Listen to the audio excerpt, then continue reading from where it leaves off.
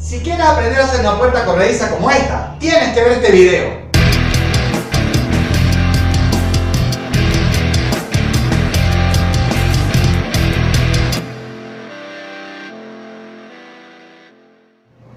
Bienvenidos nuevamente a su canal favorito de carpintería 100% en español, Carpintería Creativa Moderna por su servidor Domingo Freire. Hoy les traigo un proyecto bien interesante que tengo mucho tiempo ya pensando en cómo se los voy a mostrar en un video. Se trata de una puerta corrediza que vamos a hacer con melamina. Si está viendo este video, obviamente es porque lo pude subir en internet y hemos tenido electricidad en Venezuela para podértelo tanto hacer como subir a la web.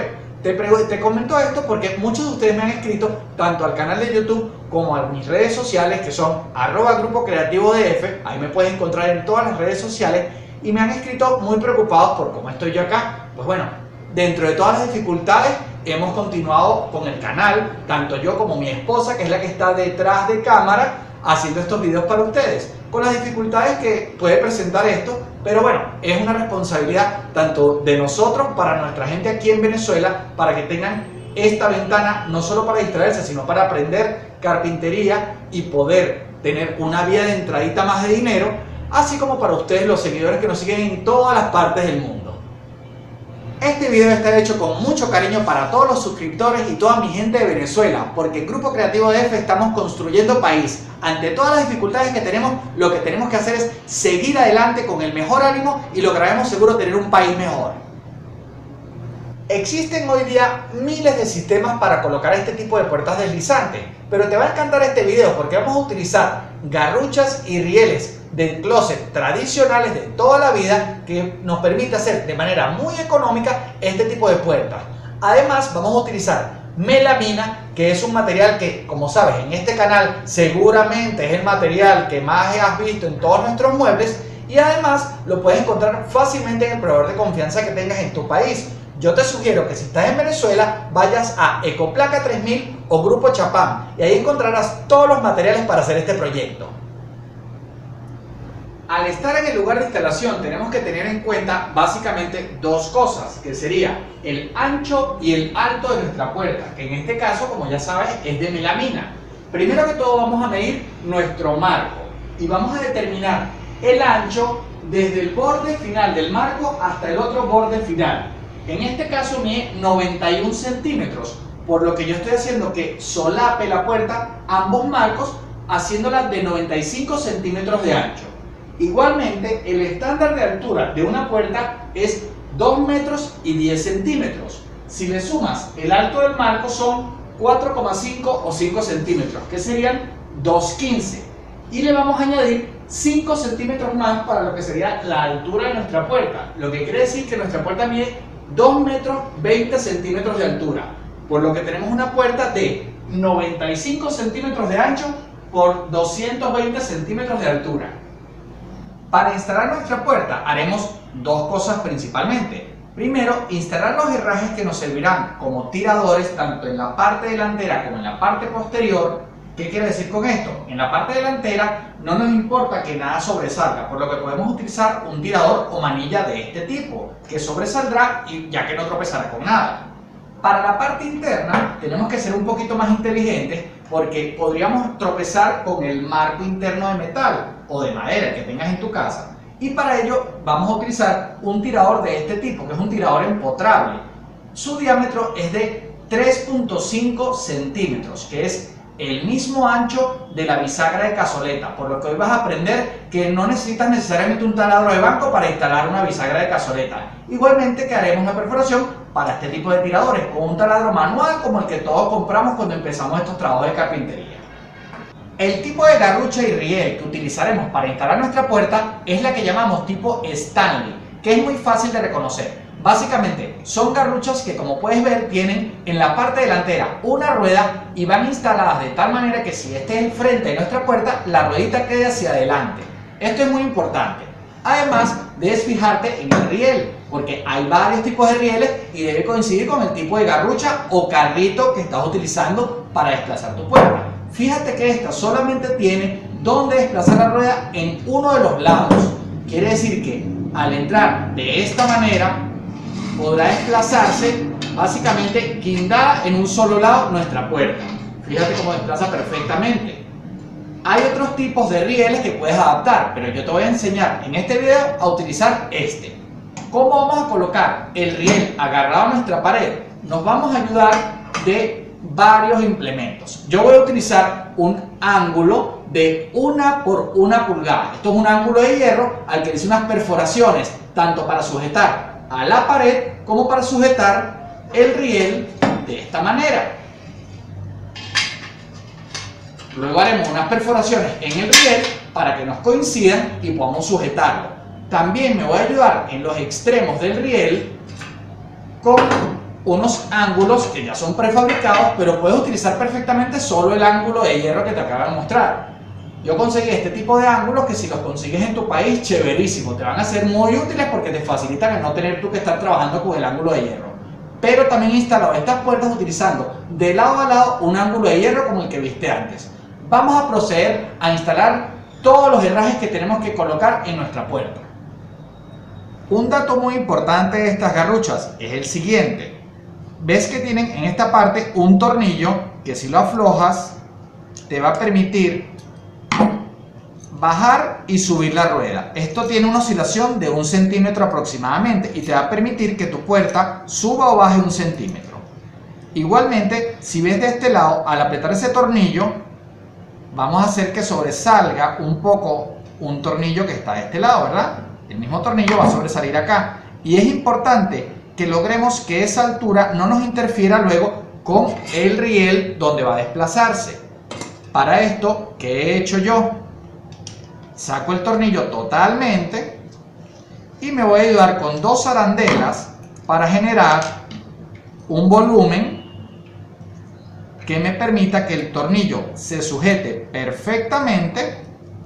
A ver, déjenme acá buscar dónde entra el tornillo y darle un par de vueltitas. Vamos a colocarlo y en lo que coincide lo atornillo un poquito. Una vez que encuentro la rosca, aprieto y van a ver que el tornillo ya no sobresale. Lo aprieto lo más fuerte que pueda, obviamente, para lograr que quede bien sujeta mi puerta y de esta manera no va a sobresalir el tornillo y no me tropezará al deslizarse dentro de mi riel. Esto es muy importante porque si no eso les va a producir un ruido molesto y quizá no les desplace bien su puerta. Así que anoten este dato antes de comenzar a instalar los herrajes en nuestra puerta. Vamos a colocar primero lo que es la perforación para instalar nuestro tirador empotrado. Este tirador, como ya te dije, tiene 35 milímetros de diámetro. Por lo que vamos a utilizar para esta perforación la broca tipo Forstner exactamente igual a la que utilizamos para instalar las bisagras de cazoleta. Vamos a ir lentamente y sobre todo es muy importante que sepas que tu taladro no esté en la posición de martillo, esté en la posición de taladrar, ¿ok? Así que vamos a ir poco a poco para no perforar de lado a lado. Lo que podemos hacer es fijarnos aproximadamente qué profundidad tiene nuestro tirador con respecto a la aspa o la altura de nuestra broca e irnos guiando mientras vamos haciendo la perforación. Así que con mucho cuidado vamos a empezar a hacer ya la perforación.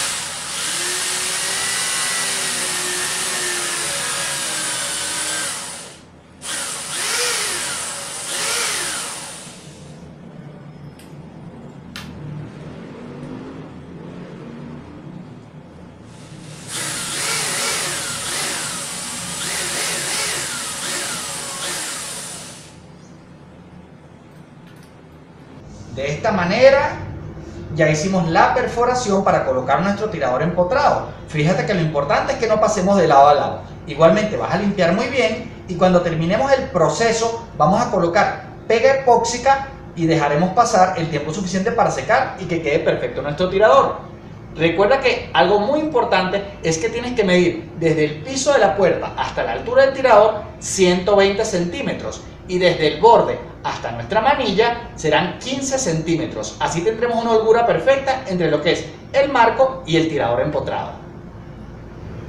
Para instalar nuestras garruchas en la parte superior, te sugiero tomar 10 centímetros del borde y ahí vas a marcar las tres perforaciones en las que colocarás los tornillos que la sujetarán. Es muy importante que sepas que al colocar tu garrucha y estar ella insertada en el riel, la distancia hasta la base superior de tu riel será de 5 centímetros. Esta distancia será cuando obviamente coloques la garrucha a todo lo que da hacia arriba. De esta manera tendrás una holgura para luego ajustar tu puerta.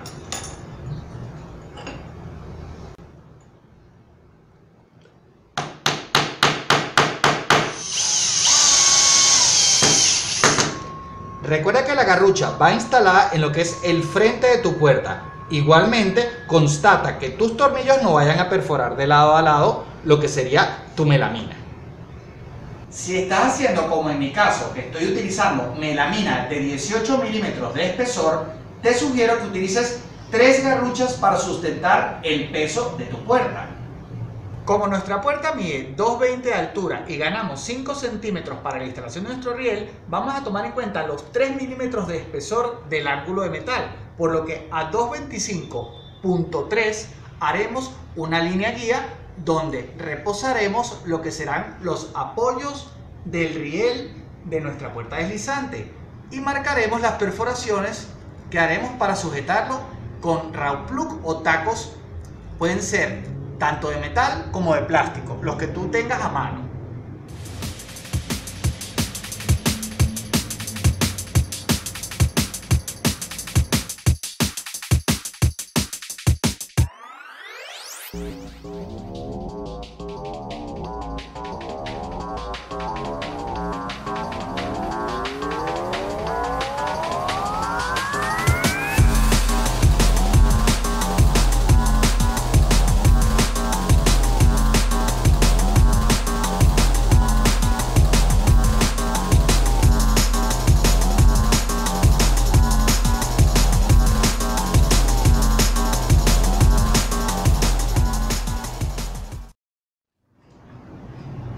sujetar nuestro riel vamos a utilizar un tornillo con arandela y una tuerca. Colocamos la arandela entre nuestro riel y la tuerca que será colocada en la parte inferior.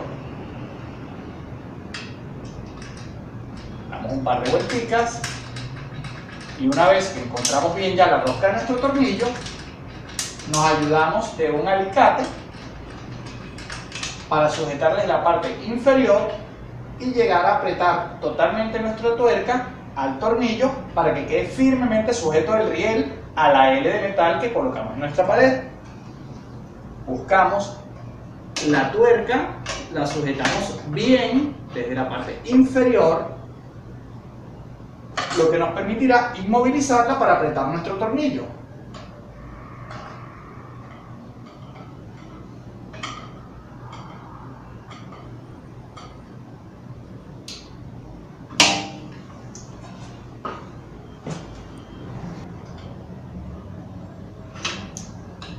Una que aprietes bien todos tus tornillos al riel, procedemos a colocar nuestra puerta. Una vez montada la puerta en tu riel, comprueba que ruede fácilmente. comprobamos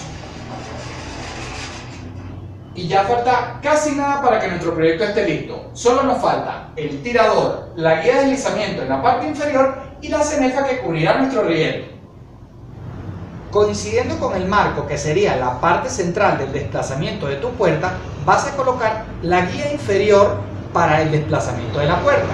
Esta guía suele tener dos piezas, una encajará dentro de la otra, generándote un riel por el que se desplazará la puerta. Recuerda colocar la puerta lo más paralela posible a tu pared y ahí harás las marcas para colocar esta guía. Te aconsejo que como solamente vas a colocar una puerta y esta guía es para dos puertas porque es la guía de un closet que tiene dos puertas una tras de la otra vas a cortar lo que sería la parte posterior ayudándote con una tenaza y así tendrás una guía solamente para la puerta deslizante que estamos instalando. Una vez colocados los tacos de plástico vamos a tomar nuestro tornillo e ingresar la primera pieza de nuestra guía en el suelo que tengamos. Recuerda siempre hacer las perforaciones con mucho cuidado para ser preciso. Esto te evitará luego de tener que compensar errores. Colocamos nuestro tornillo, lo apretamos suavemente solo hasta que llegue, porque es una pieza plástica y la podemos romper si apretamos demasiado. Una vez que hizo tope, que sentimos que ya está inmovilizada, encajamos la otra pieza y buscamos la perforación que hicimos para colocar el segundo tornillo. Colocamos el tornillito poco a poco y así quedará un espacio para que se desplace nuestra puerta.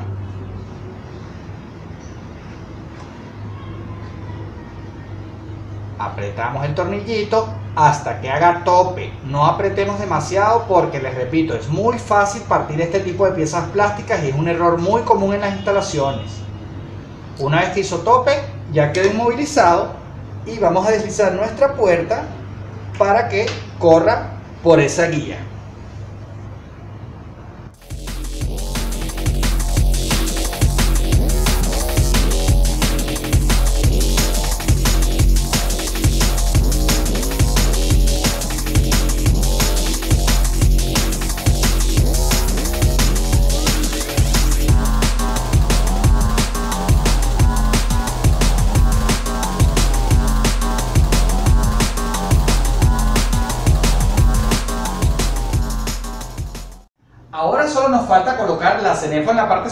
Que tapará el riel que sujeta nuestra puerta.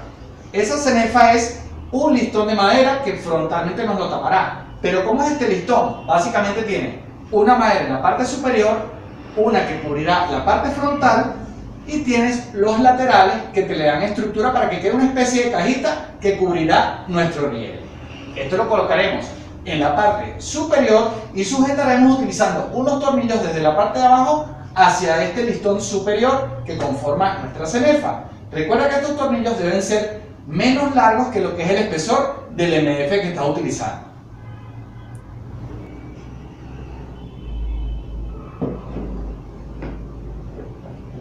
Para colocar tu cenefa te recomiendo que la coloques cerrada. Quiere decir que vas a estar cubriendo perfectamente el marco de tu puerta y además de esto vas a considerar desde el borde de tu puerta hasta el borde interno de la cenefa aproximadamente un centímetro porque ahí vamos a colocar unas gomitas tope que evitarán que tu puerta golpee al llegar a su extrema apertura o al cierre.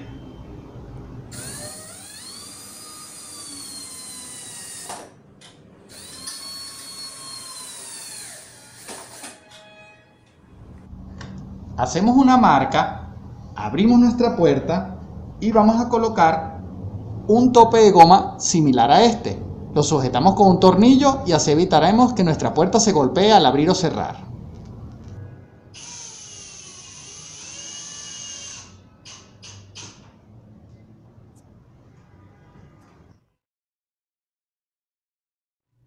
Y así queda listo nuestro proyecto de carpintería del día de hoy. Recuerda que soy Domingo Freire de Caracas, Venezuela. Y si quieres haga un proyecto así para tu casa, puedes escribirme a grupocreativodf.com. Igualmente recuerda darle like a este video, compartirlo con todas tus amistades en las redes sociales para dar a conocer este canal. Y bueno, déjame tus comentarios para saber qué te gustaría que hiciera y qué te pareció todo lo que hicimos aquí en el día de hoy. Sin más por hoy, te espero en mi próximo video.